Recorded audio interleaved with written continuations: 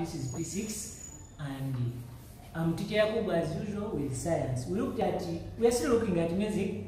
Remember we looked at musical instruments and they were classified into three. Hope you remember how to define the string instruments and you can list all examples.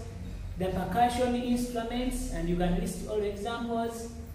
The, the wind instruments and you can list those examples and you can play very many of them, okay? Then let us look at methods of storing sound energy. If I start singing and tomorrow I want to hear my voice the way I was singing, how do you think we can store the sound? Very many artists have, have recorded songs, have done very many things. So these are the methods, there are only two methods of storing sound. One is by writing, you write the music, and that is sometimes we, we write in solfa notes. It's called solfa note, solfa notation. By, by, you can say by using solfa notation, or you can say by writing, in case they ask you, how can sound be stored? By writing on paper, or you can say by, by using solfa notation. Solfa notation is the form of writing music using syllables on steps. Now, this is not the step. I drew this thing to show you the, the, the, the music alphabet. It is like do, re, mi, fa, sol, la, ti, do.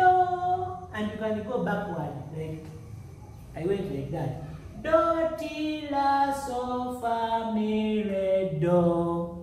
That is the music alphabet. Now, these letters, these letters can be converted into symbols and they are written on a step. When you pursue higher education, you, you learn how to read music on a step, how to read these symbols, and you can even sing the, the national anthem when reading that. Okay? Number two, apart from using solfa notation or writing, you can store sound energy by recording. By recording, and then you replay like, like, like we are recording this lesson. Even the sound is being stored. So you can store by recording using very many things. Now these are the devices used to store sound.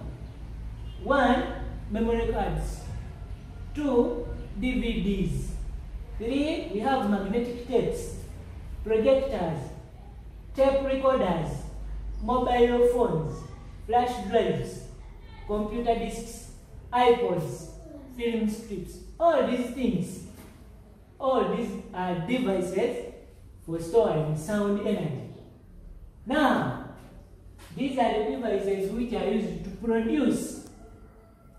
These devices are only used for storing. For them, they can't, they, you can't play a memory card. You have to put it in any of these devices, then you reproduce the sound, okay?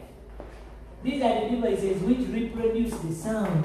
Oh, one, we have the record players. Okay? Then we have the radio cassettes. A radio cassette. Let me hope you have you have seen one. Let me show you one. So hmm. that what you have seen is the radio cassette. It can be used for reproducing music. Another one is the the tape recorders, video, video decks, film projectors, DVD players, computers, mobile phones, gramophones. Okay? Here we are. Let us look at ways of reproducing sound. One, stored sound can be reproduced by replaying. Like in your phone, in the computer, in the radio cassette, you just replay it. It will be produced. Singing Oh Uganda, my God. Reading, like when I, I was showing you the step where it is written.